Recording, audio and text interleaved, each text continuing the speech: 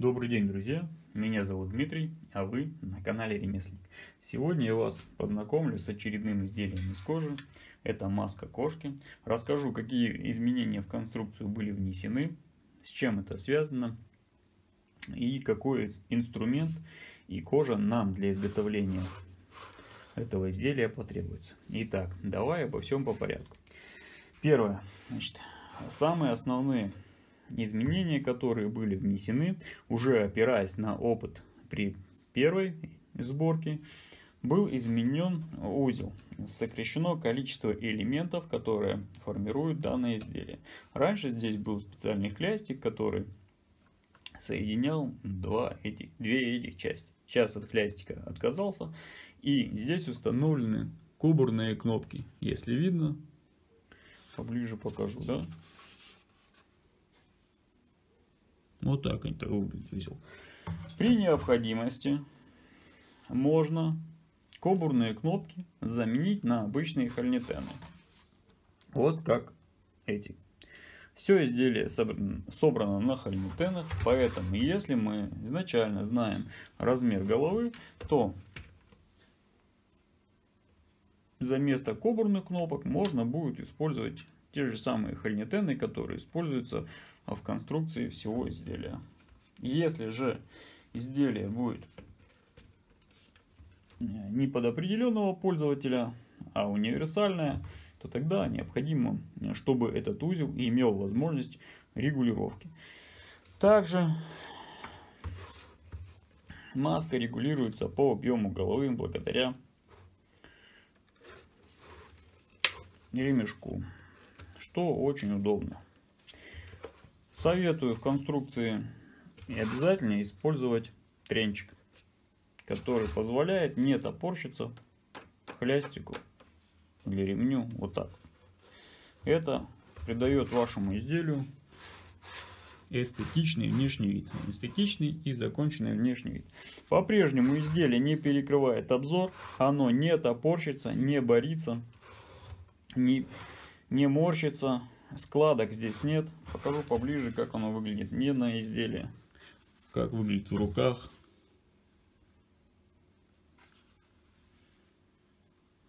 Все отверстия на месте. Теперь все отверстия совпадают.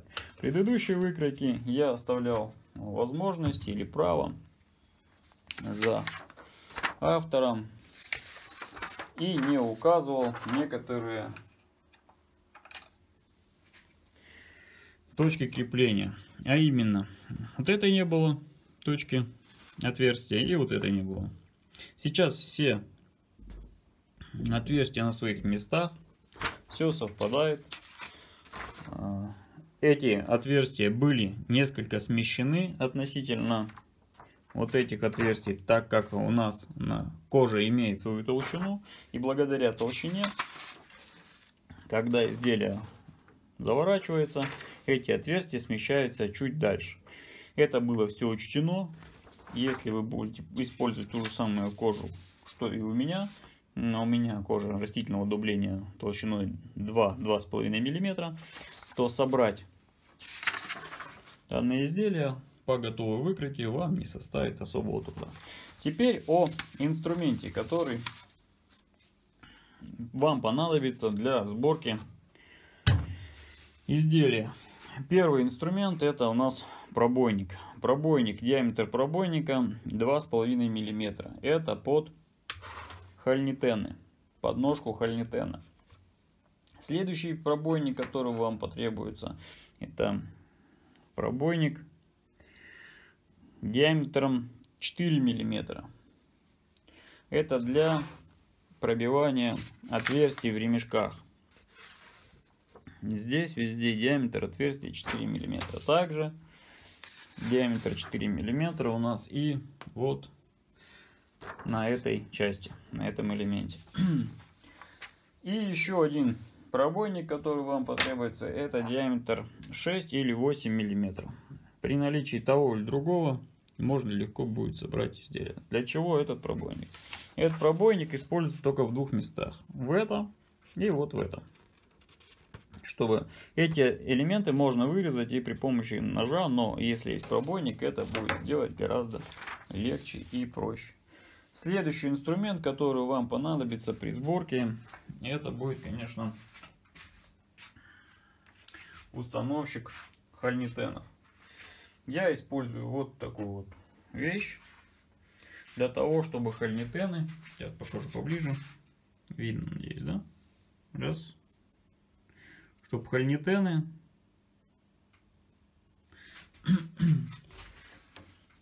имели аккуратный внешний вид после их установки, чтобы их не расплющивало. То есть они оставались такими же сферическими, как, как и до установки. По поводу сборки еще. Когда собираем, поскольку у нас э, все хальнитены одинакового размера, и чтобы нам не покупать дополнительные хальнитены с ножкой больше, более длинной. Необходимо кожу вот в этом месте подшерфовать. Получается у нас 2,5 мм, 2,5 мм и 2,5 мм. Толщина получается большая. И чтобы собрать на один хальнитен 3 толщины, нам необходимо в этом месте подшерфовать. Шерфуем это место и шерфуем вот это место. Вот здесь вот тоже получается три толщины кожи. Раз толщина кожи, два толщина кожи и три. Вот их три соединяется. Вот в этом месте шарфуем, вот где соединяется ухо. И вот в этом месте шарфуем. Все остальное собирается легко и просто. На всю фурнитуру, которую использовал я при сборке, ссылки оставлю в описании. Надеюсь, кому-то они пригодятся. А теперь более подробно по сборке покажу весь процесс от начала и до конца.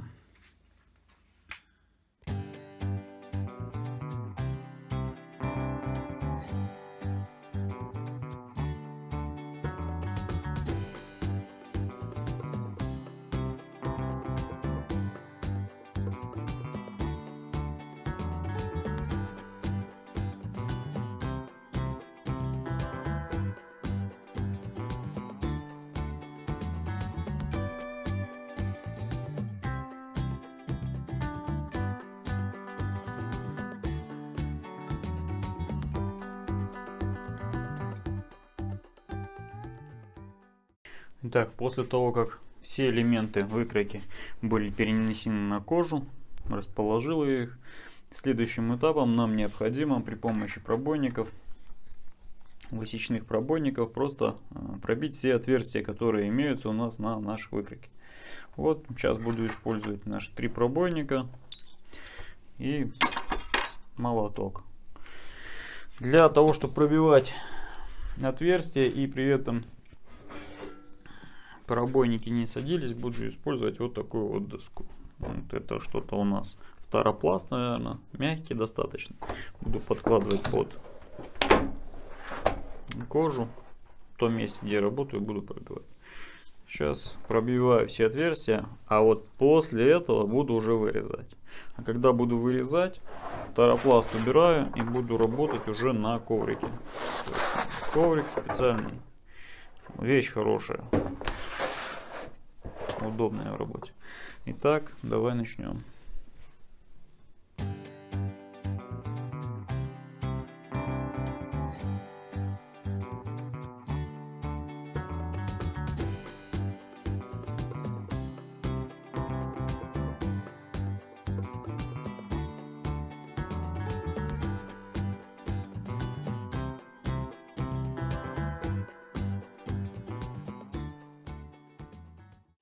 Так, после того, как все отверстия пробиты, теперь необходимо будет вырезать все элементы. Я беру обычный канцелярский нож, убираю подложку и начинаю резать уже на коврике.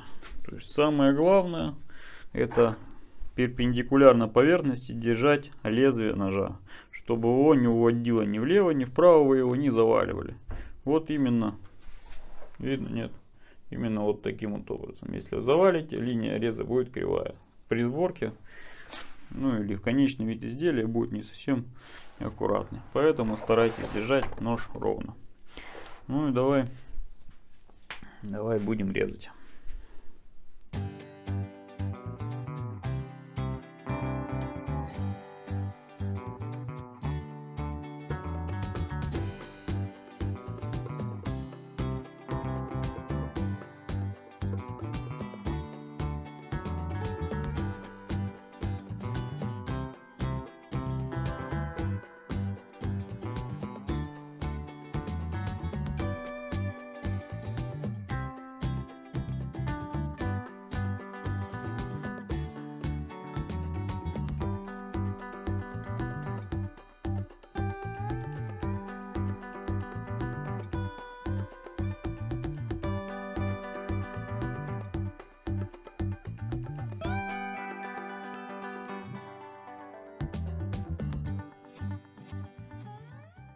Итак, после того, как все детали вырезали,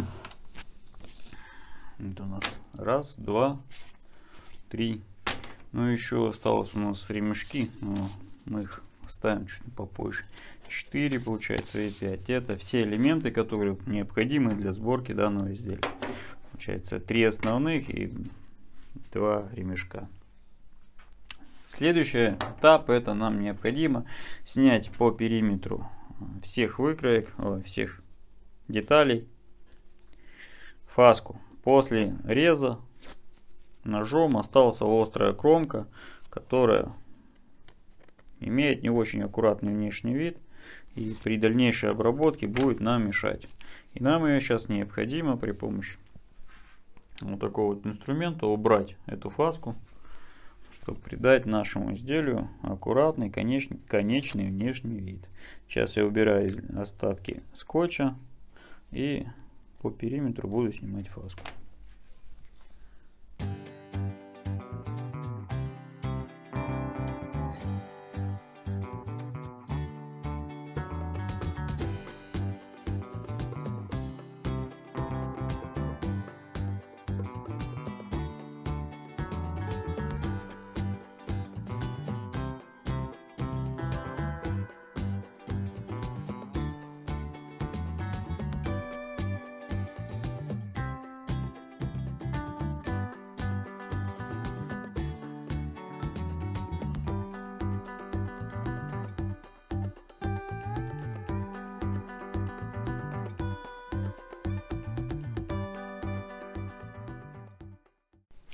Итак, все детали подготовлены, вырезаны, пробиты, снята с них фаска. Теперь следующий этап.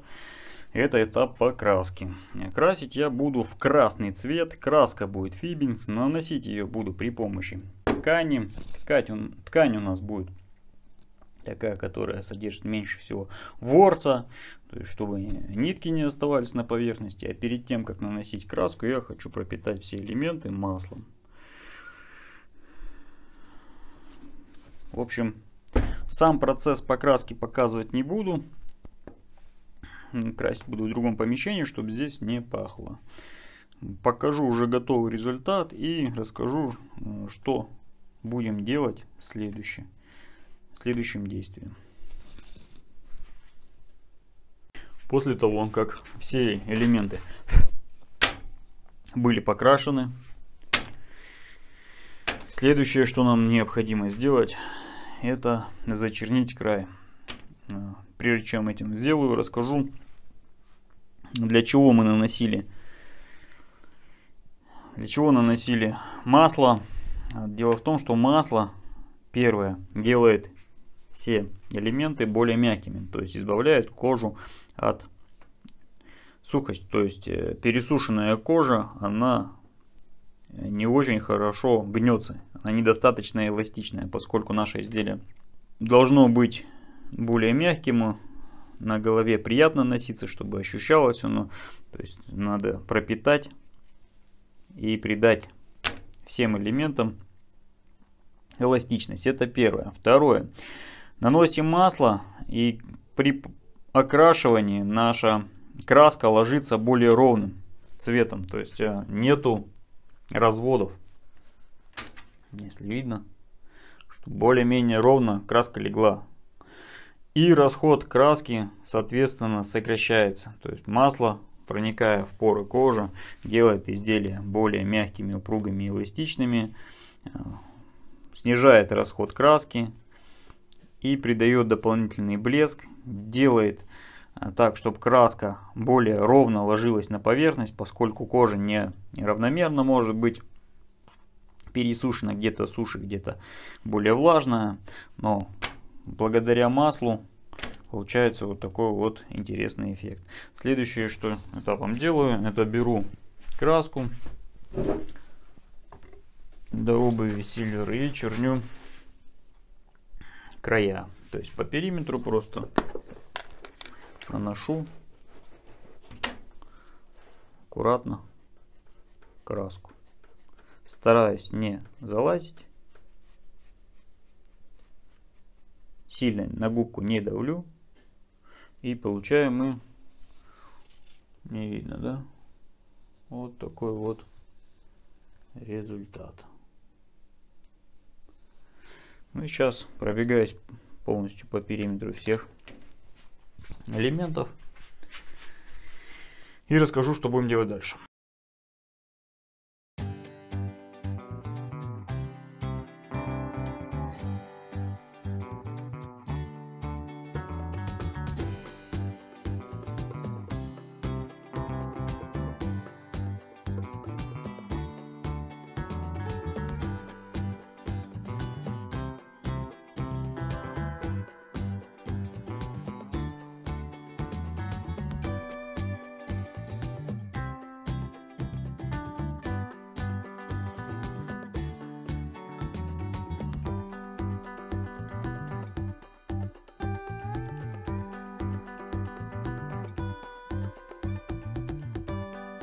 Так, после того, как все края зачернил, теперь они имеют вот такой вот внешний вид. Следующим действием нашим будет это их закатать. Закатывать будем, избавляться от острой режущей кромки и убирать ворс, чтобы после того, как нанесли краску для уреза, она э, не была такой грубой и начала блестеть. Поскольку у нас кожа растительного дубления, средство, такое средство как Таканоль можно даже здесь и не использовать, поскольку край кожи легко закатывается и без этого. И становится более гладким, аккуратным, более приятным на ощупь. Поэтому проходимся по периметру всю, всех элементов и просто закатываем край. Вот.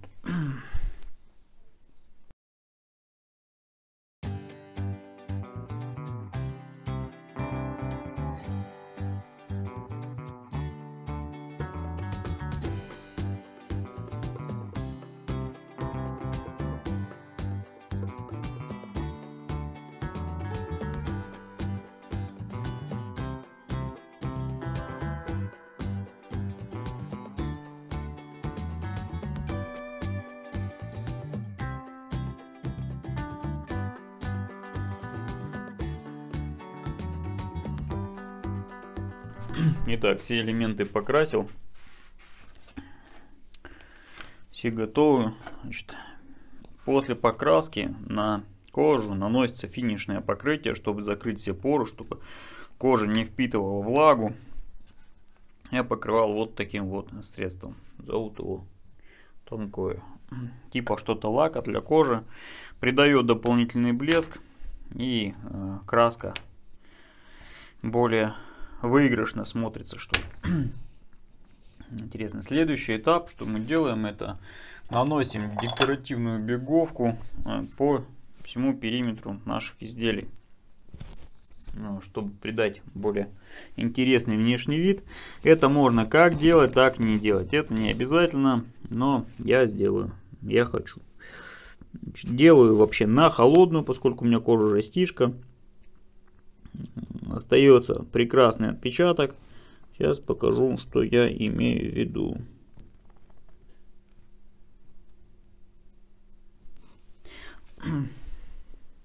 Видно?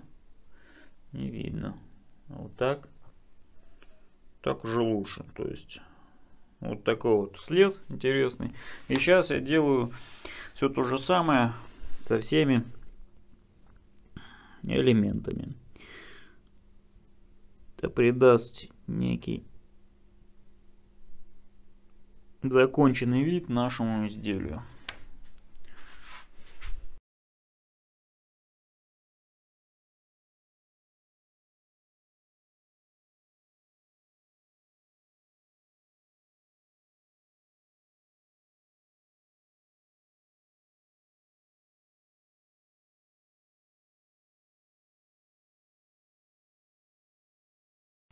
Итак, по периметру сделана такая вот беговка получилась у нас.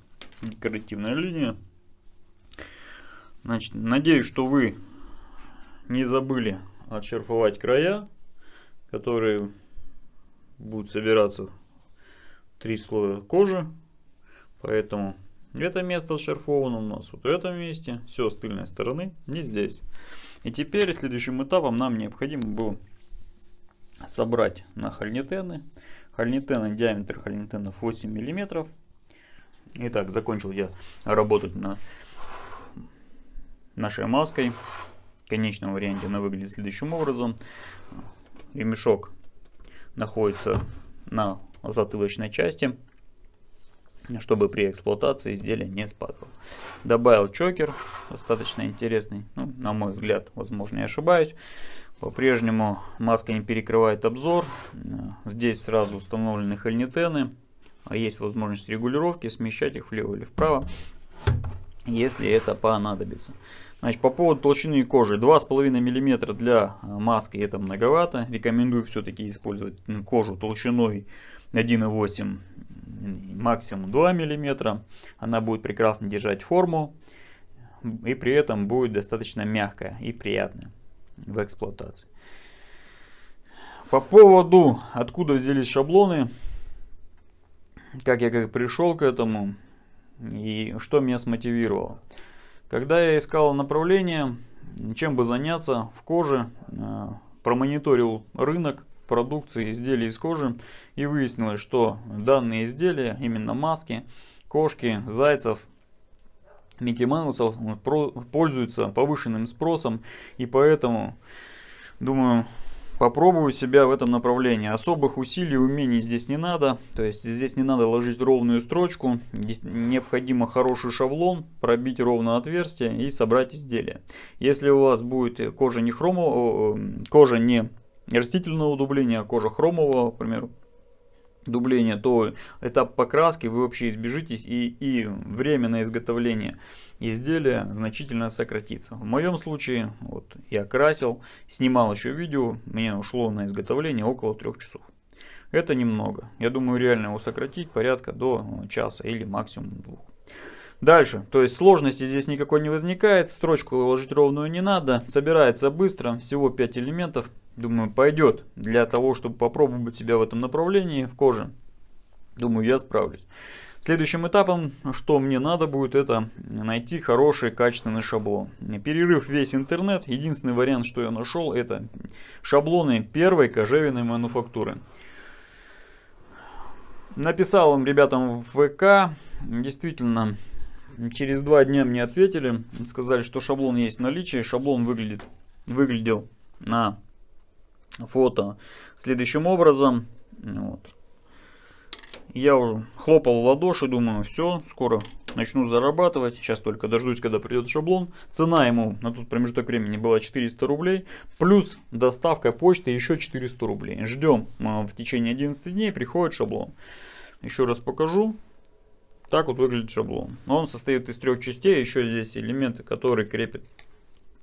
В общем, который должен крепить ремешок. Пробую собирать первое изделие, специально проверяю, проверяю на какой-нибудь коже, которая не сильно жалко, в итоге получаю вот такое вот изделие. Конечно, некорректно его сравнивать с этим, но тем не менее это этот результат очень сильно меня огорчил. Ожидал я, конечно, другого. На фотографии у первой кожевенной мануфактуре выставлена примерно вот такая вот маска или что-то подобное. То есть в картинка на тот момент была взята с сайта AliExpress.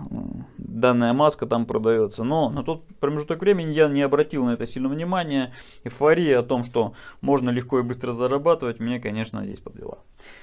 В итоге пришел шаблон, я расстроился, но расстройство это меня очень сильно смотивировало для того, чтобы разработать свой собственный шаблон, который в дальнейшем мне бы устраивал по всем параметрам. Основные требования, которые я предъявлял к шаблону, это для того, чтобы модели обзор не перекрывала, маска не борилась, не топорщилась, не отгибалась, как у большинства, значит, в эту сторону, удобно сидела, ничего не жало.